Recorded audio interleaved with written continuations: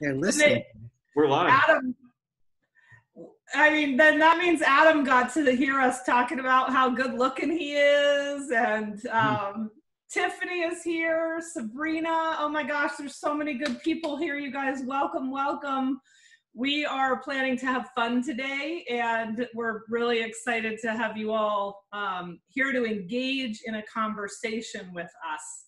Truly a vulnerable inquiry about how we can all be better um, leaders, servants, and people in relationship through our communications.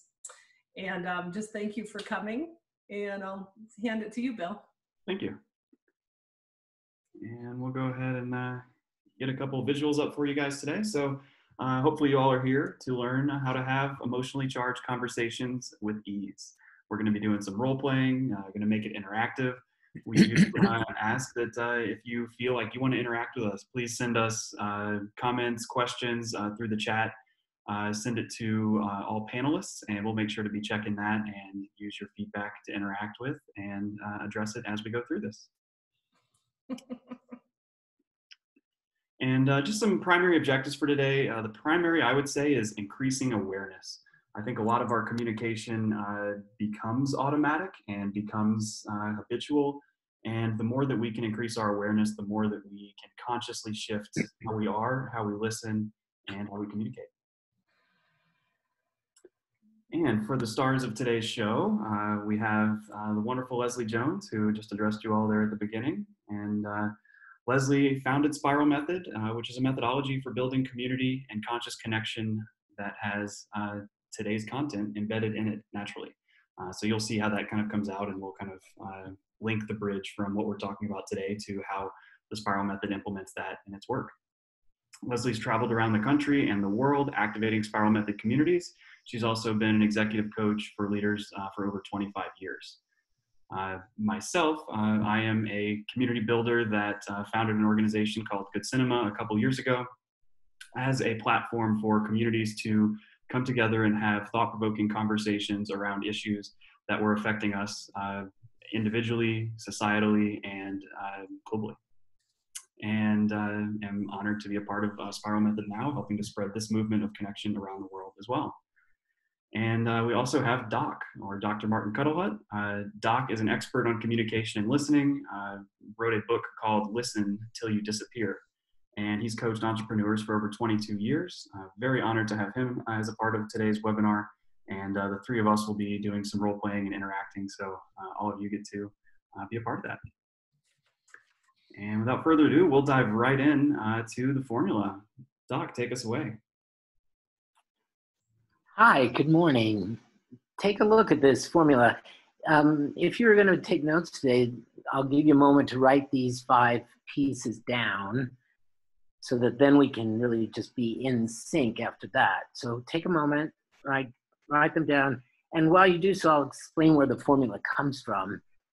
So we get a lot of requests for coaching and facilitation and especially right now because it's a very emotionally charged environment in our world and um, people are looking for easeful ways to communicate and make life happen now so there was sort of a you know a cross fertilization of people coming to us with requests and us seeing places where the spiral method and in particular connection is wanting uh, that had us look at the ways that we've been uh, forced into each other's faces in part by the COVID event, and um, also forced to have to figure out new ways of making money and and thriving.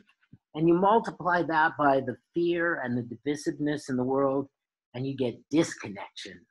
So this formula that we're going to dive into now is about it's designed to make connection. And can I just add something to this? Um,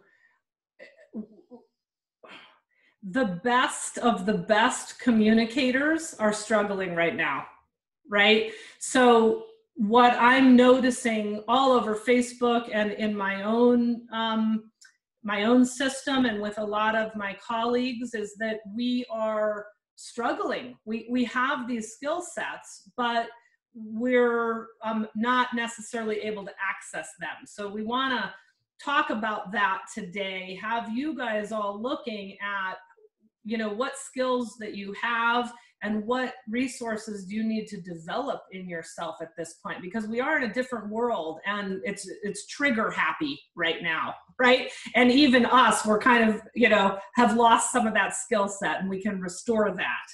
So keep keep looking at yourself as we go through the conversation.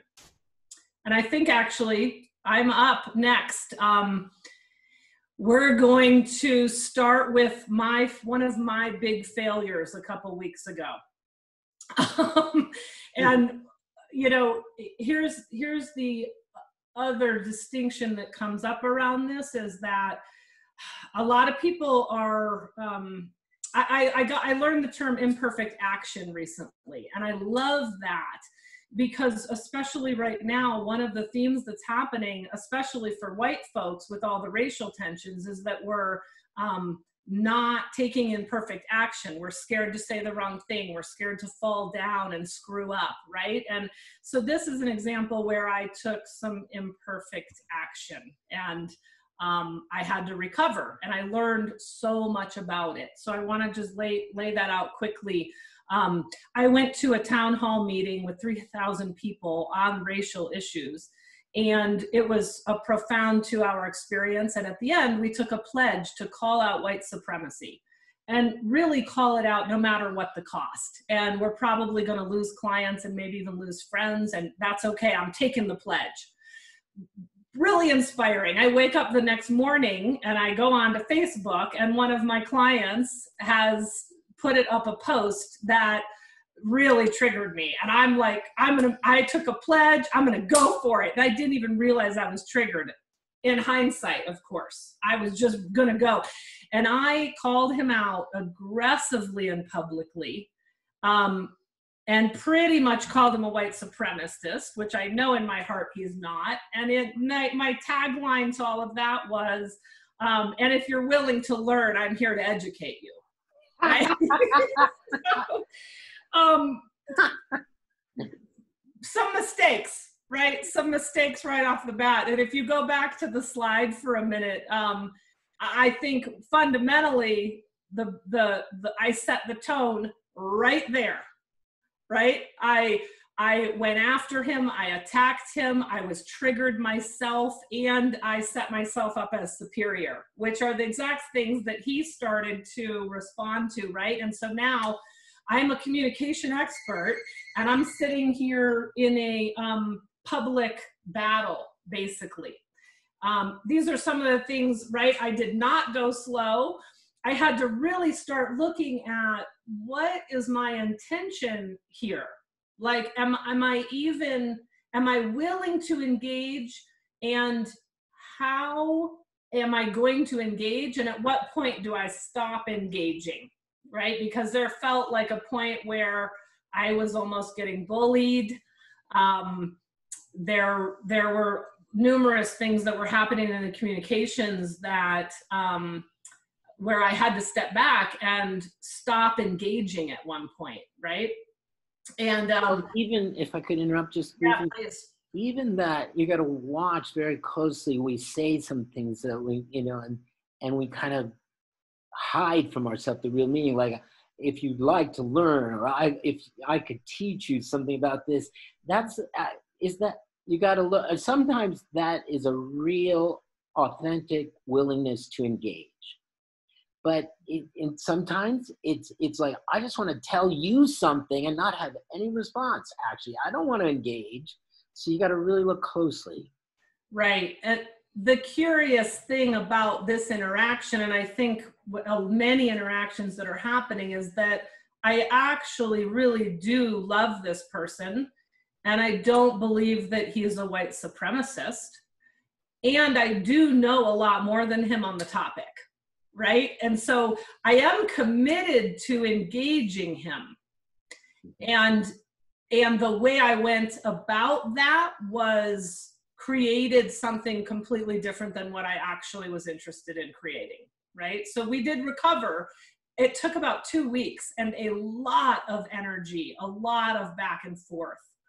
Um, so we can keep going, but this is kind of the example we're going to use today as we illustrate some of these communication points. I'd like to ask a quick follow up question on that. Um, the, the bullet that always speaks to me so much is listening is more important than speaking. I'd like to know what you learned by listening instead of speaking. Mm-hmm. Well, I learned that he was, um, he's trying to engage and educate people as well, which was not my interpretation of him in that post. Um, I I started listening to my own triggers and understanding my own triggers and that that I was actually attacking instead of list, uh, you know engaging. And um, the other piece was that when we finally got on the phone we were able to go really slow and set the tone for that conversation. Mm-hmm. And so I, I, I started with just speaking my interest in listening to him and apologizing for telling him that I was going to educate him. Right? Like that set the tone for, and then he was able to tell me what he was really interested in for our dialogue as well. So those are a few key points. I think there's probably 10 of them if I dig well, in one that you didn't mention just now, but it was right there, is that you you heard what you really wanted in the relationship. Oh yeah, good. Yep. Well, what a beautiful segue to our next point here, uh, which is listen to self. Mm-hmm. Doc, do you want to speak to this? Well, let's just look at it first. So there are triggers um, there's what we're aware of or or not aware of. There's how you're being. Like, are you being frenetic? Are you being calm? Are you being helpful? Are you being antagonistic? Boundaries. Like, you know, I don't want to go there with you. I don't want you in this space with me. Um, am I listening to myself or them? Or sorry, I said it the other way around. Them or myself. Um, you know just it's a very basic something to listen to is am, am i listening to my own thoughts? Or am i listening to what he's saying? Crucial. And then are you listening from curiosity? Like i really want i really want to know how he got to that you know where he's coming from what he really needs. Or from righteousness like i'm going to be right here i'm going to I'm listening for how I can prove myself, how I can win this argument, right? All of that. The one thing that I want to just acknowledge about listening um, to yourself here is that um, it's it's tricky. It is it is actually tricky. There's um, there's a lot going on. You are doing a juggling act when you're, especially if it's a heated conversation there's a lot to pay attention to. And I just want to acknowledge that this is a dynamic situation. It's, it, it's not about having your blinders on so you can just make your point. Obviously, there's no communication going on there. But it's really about hosting all of this going on and staying disciplined in your focus. And so, in my example, um, I didn't even know that I was being righteous. I thought that I was taking a stand and that I was being curious and that I was really, you know, I knew something about this person. Um, and I, that I was listening deeply to who he was, and that's why I was gonna go talk to him. you know, like there was a, a real goal to change something, and one of the keys is that we're you know we're meeting people where they are right like and if i'm so caught up in this i can't possibly meet people where they are and that's what happened on the phone call you know finally but mm-hmm. um yeah Yeah, and I see these as muscles. I mean, I, righteousness is certainly a muscle that I was flexing for a long time. And, uh, you know, as of late, and certainly a lot of kudos to the spiral method for having this implemented is, is the curiosity muscle, really flexing that and, and focusing on, you know, what's my objective here? And, and is it really to learn? Is it to be curious? And naturally that's my, that's my state. But I think a lot of times, uh, at least myself, I get triggered. And so that throws me right into the red zone. I get righteous and it's like, well, I need to prove this person wrong instead of, well, maybe it's more helpful to be curious and understand their perspective and why they're saying what they are yeah. how I how I can make the difference that I want to make. Hmm. Yeah. Yeah. Yeah. But it's kind of like a party. There's a party going on. I mean, think about it. When you walk into a party, you see all these people you want to talk to and all these things you want to say and stuff you want to do and the food you want to eat. That's what's it's like that. It's bursting forth in your head. And so I just, you know, you are doing a juggling act here. You need, you know, to acknowledge and have fun with it. Like, wow, I just got triggered. Wow, I really want to say how much I love him. Right? It's all there. So have fun with it. Yeah, and and I, I we already spoke to this, but I want to underscore the going slow. You know, my it's like a like landmines out there on Facebook at least. Um, and you know and in the groups that i'm a part of i was just in a group this morning and you know you listen to one person speak and you know there's like your mind is getting triggered with your opinions your judgments your you know what how you're feeling about what they're saying and just to be able to go slow and step back and look at what's my intention right now and what's relevant to the conversation. Really important skill right now more than ever i think Mm-hmm. Yeah, and uh, next, as listening to self, is listening to others. And um, the the thing that really pokes out to me, and, and would love uh, both of your thoughts on this, is the purpose and productivity. I think uh, I think so many conversations we go in again in this automatic way instead of focusing on what is our purpose for connecting around this and and how are we how are we trying to make this productive? What what's our aim? Uh, Doc, uh, I think this was specifically your words. Uh, yeah, would you want to comment on that?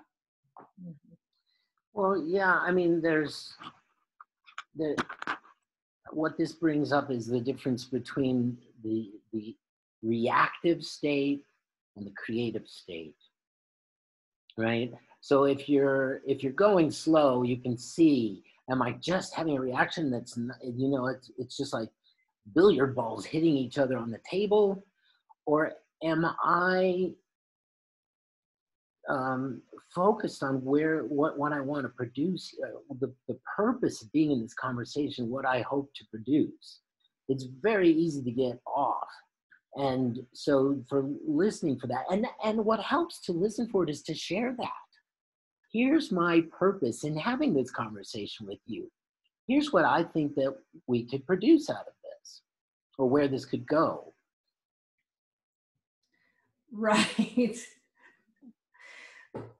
I mean, I'm chuckling at the um, my my purpose of educating people, and you know, noticing at what point I have to be aware of at what point is education happening in the relationship, and at what point are, there's not an education. We're not having a conversation to uplift and educate, mm-hmm. right?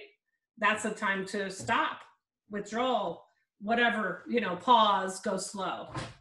I mean, we've all had those moments where like you get an email, right? And you're just like, oh, bam, I'm going to respond to that. And you're right on the reactivity. And then you're just about to send it and you go, now, wait a minute, this is not going to help at all. And you just delete the whole thing.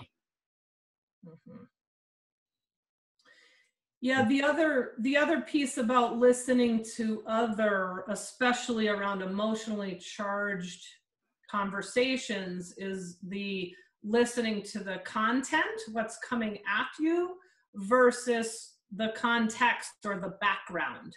Um, and I found this if if we can slow down enough to do that, I think this is the most powerful listening skill. Um, you know, I had a well, the best example that I use when I'm working with people is um, a couple that goes to a hotel and they, you know the man has taken his wife for a really wonderful weekend and you know they're just so excited and can't wait and they walk up to the room and it's disheveled. There's some lipstick on the cup from some other folks that were there right? And he goes down to the front desk and he's just screaming at the front desk person about the state of the room well if the front desk person just interacts with the content what the room looks like, they're just going to keep spiraling down. But if they can get a, um, related to the background, the commitment of a powerful weekend with his wife, and they can speak to that, then they're going to actually progress to get the man calmed down right? So this you know if i find always listening for what's the undercurrent what's not getting acknowledged what is the commitment here? Um, in my example that you know i just want to apologize for being superior in my communication right? That made a huge difference right there like we both exhaled.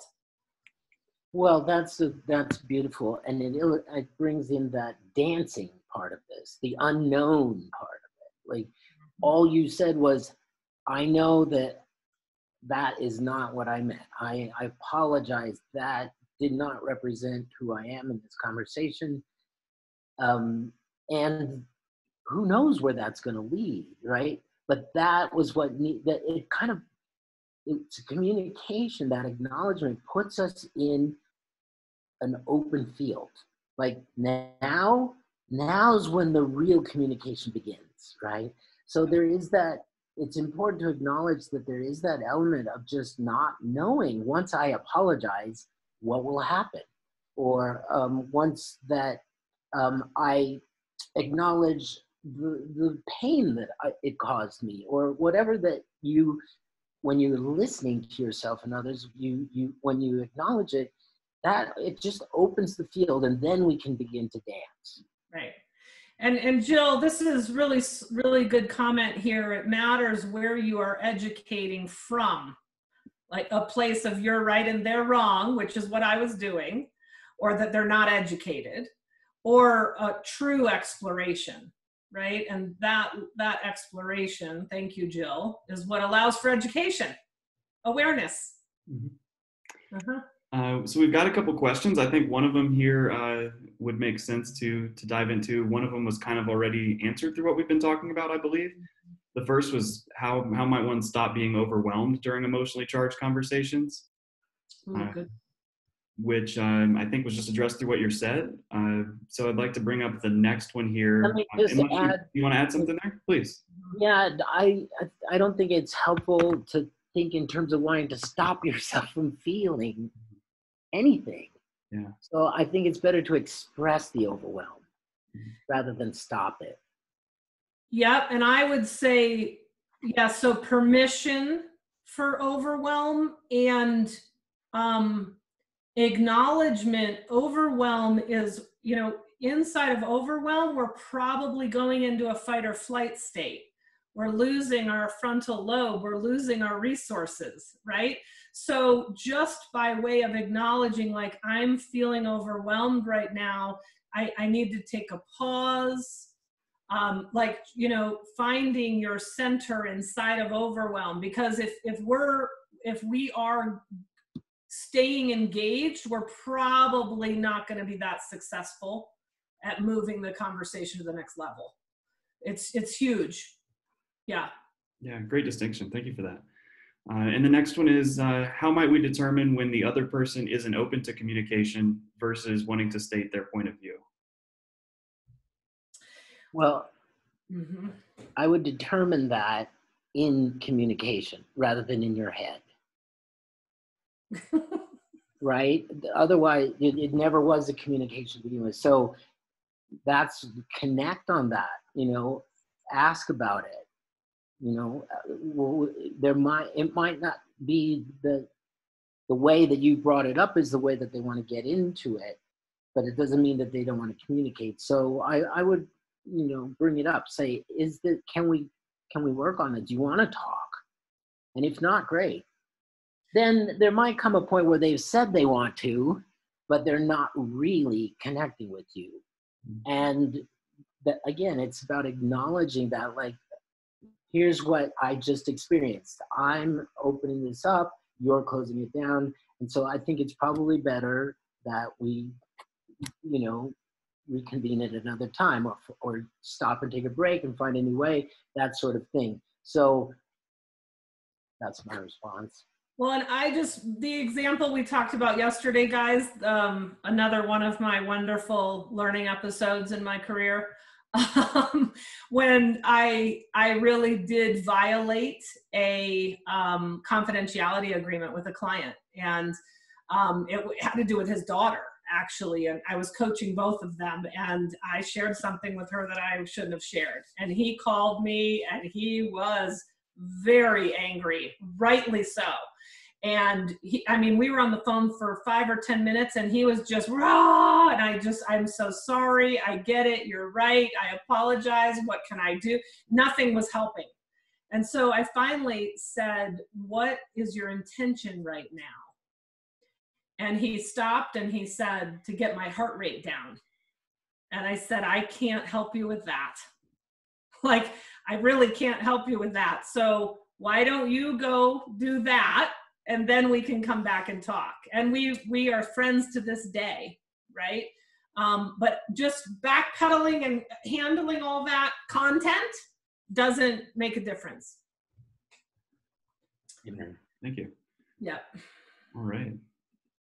Now uh, mirror and acknowledge. Uh, this we're going to dive into uh, some role play as well to show uh, ways of reflecting back as ways of acknowledging being heard and mirroring uh, the communication kind of coming at you. I think a lot of times there's a lot of things get lost in translation, even if they're directly said to someone, how it's interpreted might be different. And uh, I think this is a wonderful exercise for showing how we can make sure that what is said is being heard as it was intended.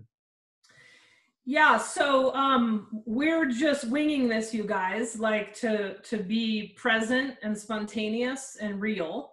Um, that's what our work is about and who we all are.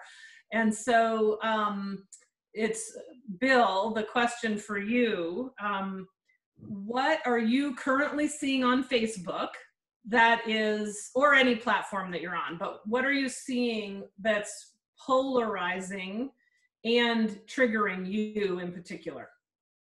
Uh, for me, given the time, it's it's things having to do with uh, I guess, with police in general and police reform, defunding police, uh, and both sides of things. It's it's something that's uh, affected me personally, and so I I have kind of I guess a strong stance against the current system of mass incarceration and and militarized policing that currently exists, and uh, and so I, I see very divisive conversations around that and then you know just seeing them kind of raises something within myself um, and uh, it's something that i try to not engage with because i know how things get online um, but it's something that i notice is a lot is very divisive and and i have kind of a strong stance on one side of it and yeah mm-hmm.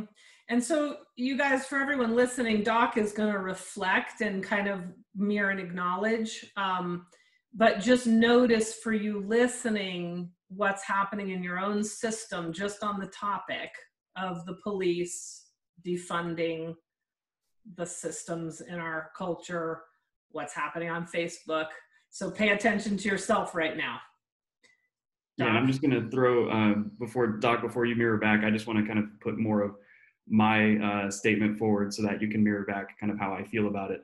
So um, yeah, so I feel that the police uh, should be defunded because our system is very reactive and it puts a lot of money into something that has been uh, for hundreds of years a racist institution and uh, instead of us putting money towards education and health we're putting it towards the effects of not having those things in marginalized communities. Got it well, that's a mouthful. First of all, I just acknowledge that you're not a trivial guy. Don't say that, you guys. what?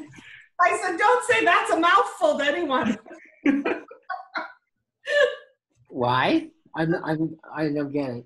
Oh, it's I just felt like like wow, Bill. Okay. Sorry. Go I mean, no, what I mean, what I mean to acknowledge is that this is not a trivial. You're you're not like thinking about trivialities. You, Leslie said, "What's on your mind?" In Facebook, like some people are on Facebook, to, you know, for very trivial reasons or superficial reasons, and you're you are affected and affected at a deep level is the first thing I want to acknowledge. Right? That's what I meant by a mouthful. Sorry. Mhm. Um, I, I hear that this has been, you said it's touched your own personal life. And the things that, about it that, you know, there's incarceration, there's violence, there's racism, these are, and uh, lack of education, lack of health. These are all things that have, that you've been touched by. And so I, I not only hear that you're against funding police, but what I really hear more than that, because that's, you know, that lives in a very complicated legal realm um, and governmental realm. But what I hear is that you're for community, you're for integration, you're for heartfelt connection and, education and health. Hmm. So, have I got you right? Is there anything else that, that I didn't acknowledge there? Yeah, I, I would say uh, that's all right. Um, I would also add um, you uh, you kind of added some things in there that I didn't specifically say. You were right, but uh, but you may not have been. Uh, so I just want to make that distinction too. That sometimes we add our own kind of interpretation of things, and while you were right, uh, because you probably also know me, uh, that we may get things wrong sometimes in mirroring that way. Mhm. Yeah. Mhm. Doc, do you agree with Bill? I'm just curious. About defunding the police? Mhm. Not wholly, no. Mhm. I um, I think that good, uh, good public safety is worth paying for. I think it's about the quality, the improving the quality of the police force and our and the quality of the non-police force's relationship to the police. I think that's more the issue than defunding. And so, Doc, what do you have to manage in your system to be able to listen and reflect when you disagree? um, the the technicalities, the the you know the like what does that mean in terms of implementation and all of that. I was going for more like feeling Bill and what motivates his his saying what he's saying. So Mhm. I, I like put all the heady stuff to the side and the figuring out part and just felt his heart. Great, which is also context versus content. Right. Mhm. Yeah. And instead of being here, it's here. Yeah. Yeah, and thank you for saying that. That that really helped me kind of understand how you reflected. And it's interesting hearing what you were saying. You know, I still have these kind of like physical feelings in my body when there's someone disagreeing, but I'm I'm really making honest effort to kind of shift into, well, why might he be saying this? Well, probably because he has a whole lifetime of different experiences than I do, and that shaped his perspectives. And maybe it might do me some good to be more curious and and listen to to find you know why his perspective is what it is so that i can have a more well-rounded one myself Mhm. Yeah. Mhm. Yeah. The um I mean I think it, part of this conversation is also agree to disagree and this statement has really bothered me personally for years because to me agree to disagree feels like we're cutting off an inquiry. And so I'm actually curious what you guys think of this is, you know, are there times where it's appropriate to say I agree to disagree? Um, I'm interested in a higher level or higher type of conversation called inquiry and curiosity and common ground and solutions instead of all of our opinions all the time.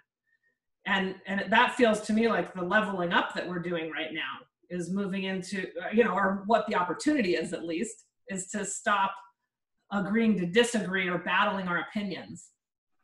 Well, this brings up the uh, one of the next, the meant be the next slide, which is about cre- creating the future. Okay. Uh, well, the next one's choose how to be, which I think is a good Oh, transition all right. to that. Both. Yeah, we'll we'll hop onto it. We need to go there first. Yeah. Well, go ahead. Right. Choo- choo- okay. So part of my um, choice is to not engage in opinion oriented conversations. Say it in a positive. w- uh, That's what you're not going to do. Say what. What are you going to do? yeah, exactly. Um, focus on connection and solution and um, vulnerability and learning. That's, that's really powerful. Um, uh, I'd love to hear a little bit more how that played out when you got on the phone with this gentleman. Um, that there was that heated, right? Because it must have taken vulnerability to say, like, you know, I'm calling you up. I want to communicate about this in order to create connection. Like, how did that go over? Um, well, we texted first. We texted a little bit to, um, and I invited him to come into a conversation. Mhm. Um, he let me know in those texts that he wasn't emotionally triggered at that point. And I don't know if he ever was, honestly. I was. I don't know if he was ever emotionally triggered. Um, so we we started out and then again I apologized, right? I really I really apologize for my own righteousness. Um, yeah. hmm So that th- this is choosing who to be and how to be in that relationship. And I just, I just pub- my newsletter today is all about how the seed of all of our relationships is that relationship we have to ourselves in that critical moment, in that emotionally charged moment. Right, you chose to be vulnerable, and that's what did, that's what allowed what was a heated, you know, confrontation to become something soft where actual ex- an actual exchange could take place. And let me just say, I mean, agree to disagree was one of the sticking points. And um, he started writing every day, quoting my words and speaking to can you believe a community leader would um, would squash conversation like this or would stop you know whatever his interpretation of agree to disagree? And this went on for about a week right? And this this kind of um, I was at risk of losing not only a client, but having a lost relationship as well as a public um, denouncement of my leadership. Right. Mhm. And um, I was detached. I was willing to let that all fall out that way. And the restoration of our relationship, we both up leveled and his his words are changing and my words are changing and he's he just exposed us to 6,000 people last weekend and texted me about, you know, how much he's sharing this work, right? that just is so refreshing to see that we both were able to get to a new place not possible if we if if if we weren't willing and Mhm. vulnerable Mhm. Mhm. Yeah, and just a, a real quick kind of distinction here. There's there's certain words here that cultivate connection versus disconnection, uh, and I think this theme kind of goes with the using words to create versus to describe. Uh, Leslie, I think you uh, you say this very eloquently. Can you kind of chime in on this? Well, yeah so um i learned this a long time ago uh this this idea that we we usually use words to describe our world that's kind of how we're raised most of us at least is using words to describe our world instead of using words to create our world and the example that i someone told me at some point 20 years ago or something was of an umpire who the first umpire says um, i call it how i see it And the second umpire says some version of I see it and then I think about it and then I call it. And the third umpire says it is what I call it. Right? That's a declaration, a declarative ownership of the way that we use our words and that we are going to create our world with our words.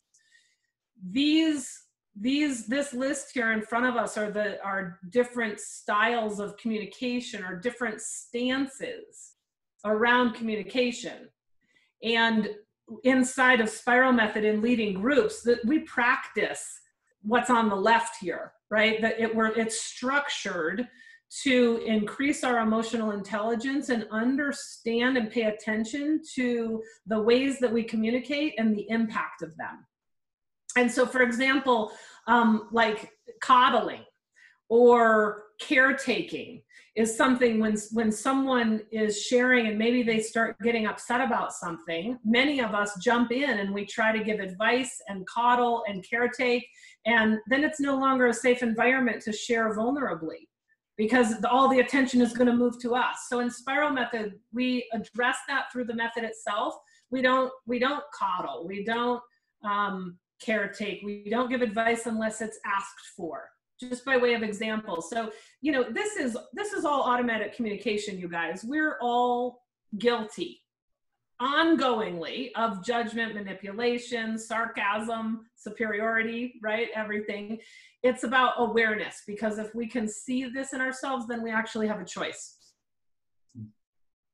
Yeah and uh, and on the term or excuse me on the line of creation uh, doc to the slide you were waiting for here is uh, is creating the future Mm-hmm. Yes. Um, so uh, there, I, there was a question that was asked in the chat that I just want to acknowledge. We might want to get back to. Somebody said, "Well, how do you deal with somebody who's being triggered?" And um, so we could, if you want, we could go back to that at some point. But uh, maybe I should do it now. Yeah. Okay. Um, just to speak to that question that was asked in the chat, let's see if I can get it exactly right. Mm-hmm. How do you or do you continue the communication with somebody who is triggered without the awareness that they are? Um, the, this is a, this goes back to the mirroring. You have to get in their energy, right? If they're being triggered and they don't know it, you have to get you have to be triggered in a way. You have to acknowledge like wow your your energy is triggering me. You have to get in their same energy if you're going to move the energy any other direction. If you are cool as a cucumber while they're being triggered then it's going to trigger them even more right? And so you, that's the first thing is mirror their energy so that then you can move it. Like acknowledge that triggered is in the room right? Mm-hmm. that's that's the the main response there. So if you want, we can go back to create a future. Um, so uh, you know, this is this is the the moment where you know you you could just leave, and then there the the connection gets lost. So this is about preserving the connection, maintaining, sustaining, nurturing the connection that you've just opened up by being vulnerable and so it's about creating something to live for right? Something in the future that, something that's possible uh, by our being connected. Um, it could be a mutual goal like okay you know then let's let's make xyz happen together. Or it could be just the next step oftentimes in business it's just a matter of saying, okay, you're going to do that. I'm going to do this, and we'll we'll meet again in a week, and you know, and um, hold each other accountable.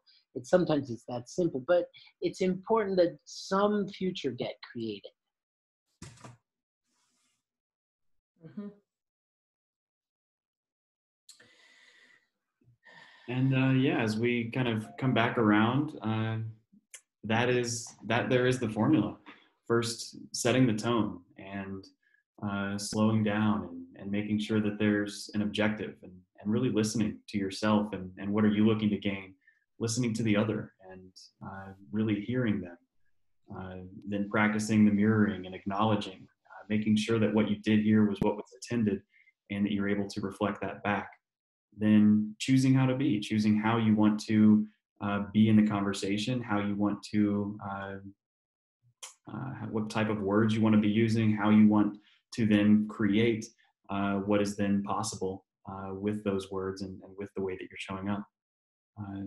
Doc or Leslie, how would you like to kind of sum this up before we proceed? I just want to name again.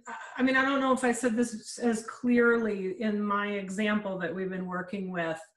We promised to stay engaged and to give each other the benefit of the doubt and to we we discussed private versus public you know facebook versus us the two of us having a conversation.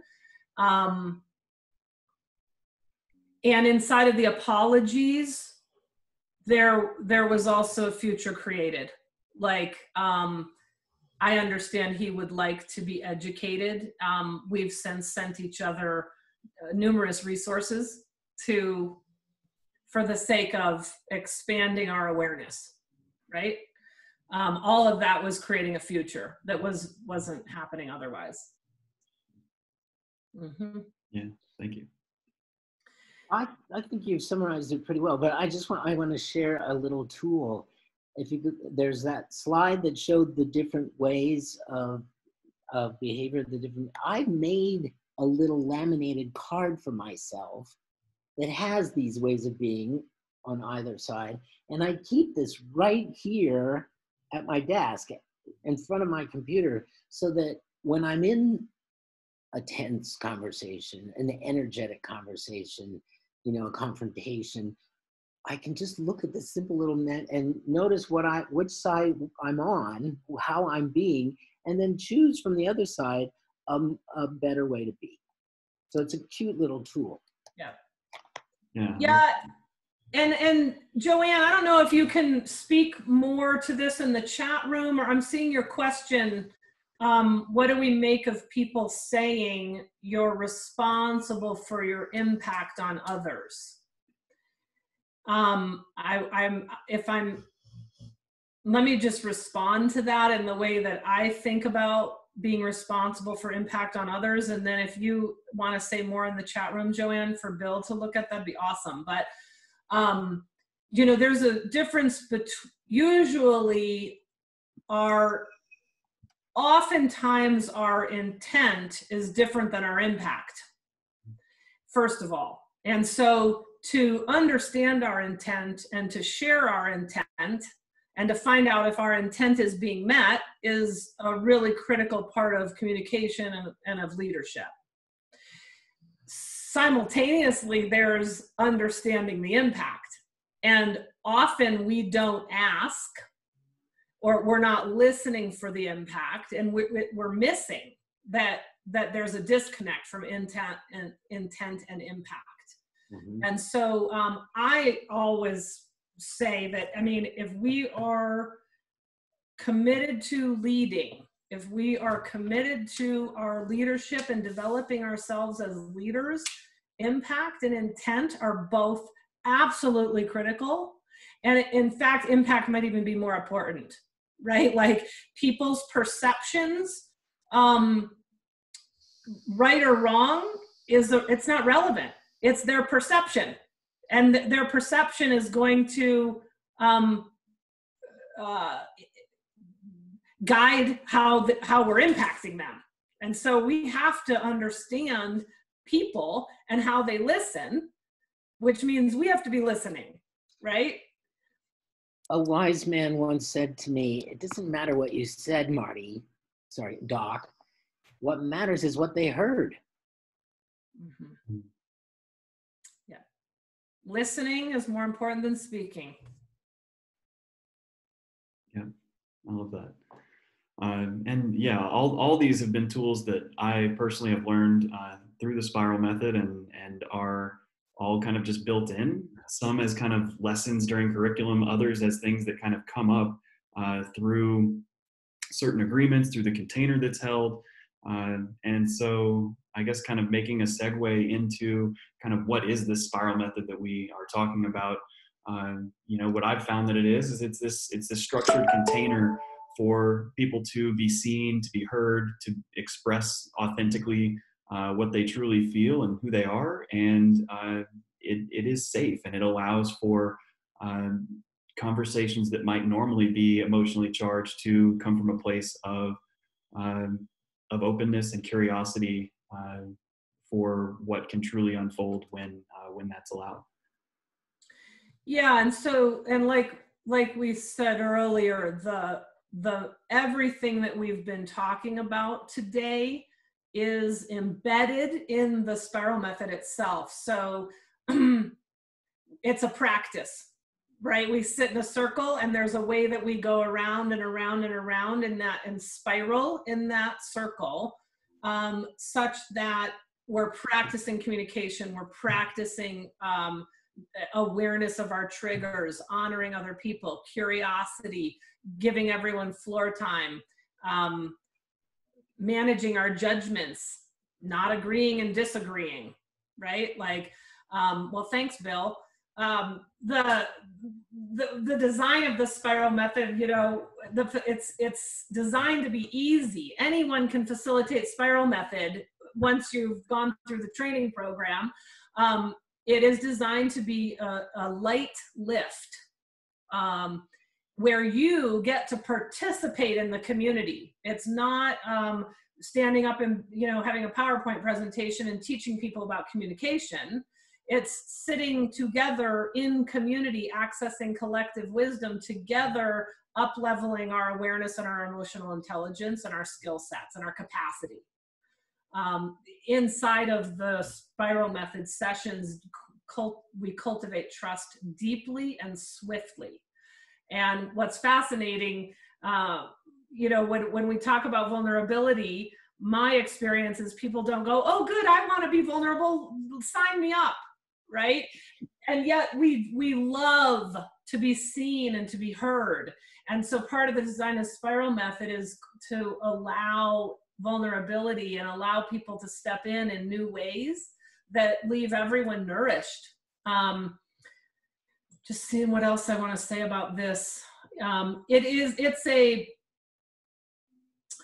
it is a method for developing community and so everything that, um, anything that you're working on in your communities get to map with the spiral method, right? It might be leadership skills, it might be um, single mothers, it might be um, students that are working on a science project, right? Spiral method is going to be the community developer over time and you map it with whatever you're up to in that group. Um, I think I've spoken to most of this. I mean, for coaches or consultants or people that want to create spiral method groups, there's also a whole um, revenue model for um, leading groups as part of your business. Yeah, and I'll just add something on there. Uh, you see flow state, and I think this goes back to something we talked about earlier that sometimes when we're triggered, uh, our mind shifts into our reptilian brain and, and, we start to really feel the effects of it, and, and that's when we're more reactionary uh, but Spiral Method really puts us into a flow state where we're coming from this place of curiosity and love, and it's and it's in flow, and time uh, time seems to stop, and uh, and it's really a special place, something that you know sports can bring out of you. That you know, being in in this kind of perfect state of bliss, uh, it, it, truly does feel like that uh, within this container. Yeah, and another question here. Thank you, Sabrina. Um, does it work for virtual programming or just in person? Both. We've been doing Zoom spirals for the past three months, and we're also offering our, our um, certification program uh, virtually now as well. We had one last week or the week before, and um, it's it's working just as well. It's it's crazy, and um, I think there's there's value in meeting face to face as well. I had one of my one of my groups met this morning face to face and it was so good to see each other right so um, we're looking at, uh, at hybrid models as we move forward mm-hmm. yeah and uh, there's some uh, leslie i don't know if you want to address uh, a few of these comments from joanne here um, around kind of triggers and impact and intent um, i think i already did okay perfect Yep. All right. Then, Yeah. Yeah.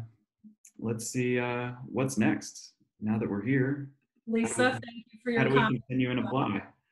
Um, so one is is get Spiral Method certified. Uh, we recently just uh, completed an online certification uh, where we were able to come together as a community and build community, or excuse me, and use this community power to co-create uh, new leaders within this method. We practiced this methodology uh, as a group. We looked at uh, the tenets and principles and agreements and glossary of, uh, of terms that really build what this is.